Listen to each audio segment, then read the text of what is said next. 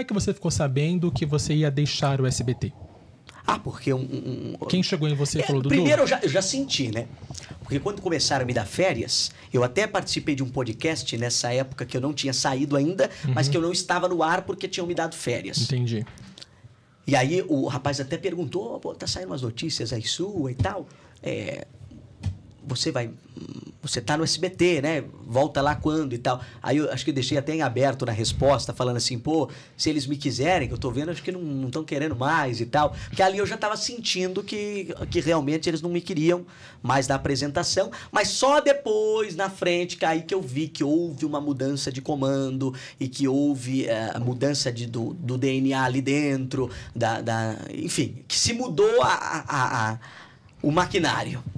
E aí que as, as atitudes, os pensamentos eram outros, a- os objetivos eram outros e por aí vai, né? Mas eu, eu, eu- não foi uma coisa de surpresa, ah, você tá saindo. Não, já sabia. Quando me Não chamaram para a última surpresa, então. reunião, eu já sabia que. Ah, pô, acho que a maioria do- do- dos programas você vai meio que sentindo, né? Uhum. Quando vai, vai, vai indo para acabar e tal. Vai, vai vendo alguns sinais, né? Entendi. E pra você teve algum tipo de armação, Dudu, ou não? Ah, sempre quiseram me tirar. Agora, a armação provavelmente veio, né? Não só para tirar o Dudu, mas para também é, tentar queimar a imagem do Dudu, porque sabiam que o Dudu dava resultado, que seria interessante para qualquer empresa. Então, vamos tentar. Se ele dá resultado, é, se a gente demitir ele aqui, ele consegue emprego lá. Não, não, não, não. Vamos tentar queimar a imagem dele para tentar usar é, é, da imagem dele queimada, que é uma figura descartável, o que Que nenhuma outra, ou nenhuma outra emissora É. vai contratar pra competir com o SBT, possivelmente. Exato, também, também. Também tem esse lado, porque nós, é, quando eu entrei no primeiro impacto, a, a audiência era terceiro lugar, quase caindo para o quarto. Chegava a minutos de ficar atrás do café com jornal na época, que era da Band. Da Band. E, e a Record dava o dobro. Um, um dos meus motivos não era eu entrar e mudar a audiência, não foi essa ideia. Tipo, ah, Silvio, é, me coloca. Primeiro que a conversa nem foi essa, né? Ah, Silvio, me coloca lá que eu vou dar mais ibope. Nunca rolou isso. A conversa que eu tive com o Silvio foi: Silvio, você tá com um jornal lá de manhã, que é o primeiro impacto, que não está indo bem, mas o formato também não está bom. Você tem que tirar aquela bancada, voltar a fazer o que deu certo com o César Filho, em pé, chamando os repórteres ao vivo, com helicópteros flagrantes da cidade, coisa que a Record está fazendo com o Balanço Geral amanhã e que está indo muito bem. A gente tem que tirar aquela bancada. Se a Globo, Silvia, que a Globo tirou a bancada, porque antigamente Bom Dia São Paulo era feito com Mariana Godoy e com Chico Pinheiro. Isto. Então, por que não tirar? Aí, é, na época, ele jogou ainda pra mim, ó. Mas, mas você já fez jornal? Eu falei lá com 14 anos, Silvio, eu tinha uma experiência de, de, de comandar um jornal é, é, lá em Minas e tal, numa emissora micro-regional, afiliada da. Ela, ela, é- é- ela, ela era afiliada à Rede Minas. E a Rede Minas era afiliada da TV Brasil, ou seja, afiliada da afiliada.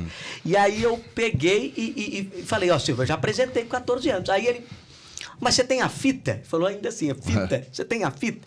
Falei, Silvio, eu não tenho a fita. Você vira muito raiz, né? É, eu não tenho a fita porque nem no, no YouTube eles postavam é, é, esse conteúdo. Falei pro Silvio, aí ele, tá certo, vamos com calma, Dudu, vamos com calma. Aí ele foi saindo do, do, do salão, da, da primeira parte ali do salão, ele fa- aí, aí ele virou de novo pra mim assim, lá de longe falou, qual que é seu nome mesmo?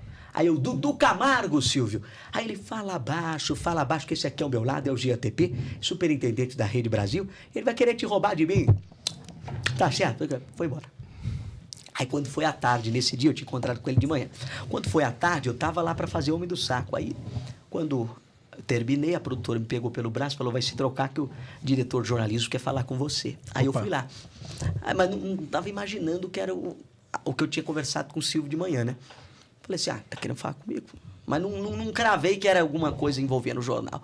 Aí cheguei lá na sala dele, o diretor tinha, tava com o telefone aqui, ele, quando eu abri a porta, ele tava, botou assim, Oi, como vai? Tudo bem? Prazer. É, o seu Silvio ligou aqui e disse que quer te testar amanhã no primeiro impacto. Aí eu pensei comigo mesmo, enquanto ele falava, eu pensei assim, pô, vai, vai ter um programa piloto, vão gravar um piloto amanhã, né? O Silvio assistiu, alguém da direção e tal. Aí depois que eu fui me tocando, quando ele chamou valendo os já. chefes de redação e tal, pra anotar, não sei o quê, aí eu comecei a, a perceber que era ao vivo que eu ia entrar no dia seguinte já comandando o jornal. E isso era terça-feira, 5 da tarde.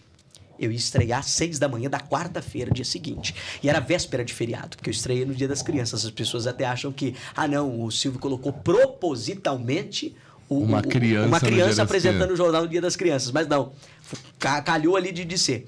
E aí o Silvio pegou e foi lá para. Aí, beleza. Aí o diretor jornal resolveu. Aí o, o diretor jornal falou: Ó, oh, o Silvio disse que você quer um formato diferente para tirar a bancada. Que você...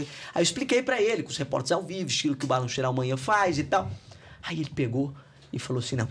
O que dá pra gente fazer é tirar a bancada, o resto não, não vai ter como. Então, você já, já, já viu o bloco, o bloqueio ali, né? As uhum. dificuldades Começaram ali, ali já. É, exato. Aí eu falei, aí ele ainda perguntou, mas você consegue fazer? Tudo certo? Opa, deixa comigo, vambora. E fui.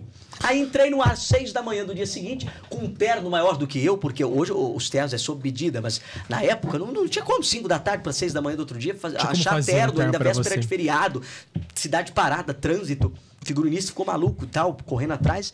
Aí a, a, até o povo na internet fez piada. Falou, pô, pegaram o terno do Hermano Henning e deram pro menino.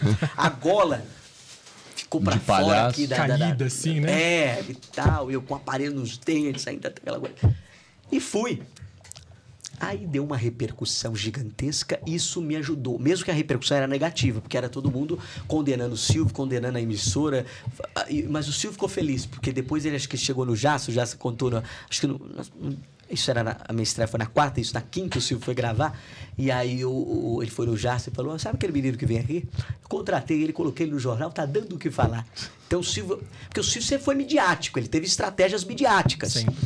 E aí eu, eu, eu, eu estreiei ele lá. Aí deu o que falar, né? Mas me ajudou, porque por as perseguições lá dentro, nem chamada na grade eu tinha. Então, o que, que me ajudou a divulgar que tinha um garoto assim, chamado Dudu Camargo, apresentando o jornal? A imprensa. Mesmo que negativamente, falando, pô, o Silvio enlouqueceu, botou uma criança é, para apresentar boca, né? o jornal e tal.